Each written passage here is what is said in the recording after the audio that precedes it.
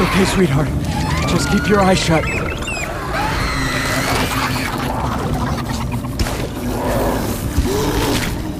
Eric, what the fuck is happening?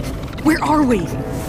Nora, I know I'm the last person you want to trust right now, but if you want to survive this, you're gonna have to. My words are bold. My deeds are rot. I am blighted, but I am not lost. By hallowed blade I draw out my affliction. My words are woe. My deeds are rot. How are they in this place with us? I don't know, but we can't let them see Faith. Are they Faith's followers? I think they're Foundation. They aren't anything anymore. Just more souls lost to the withering. Stay away from us. Eric, I. You sent people to my home to kill Faith. No! I sent them to bring Faith back to the Foundation, to keep her safe.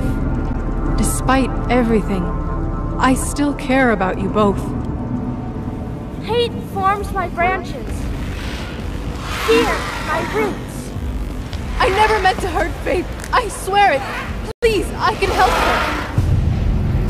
I am blooming. Please.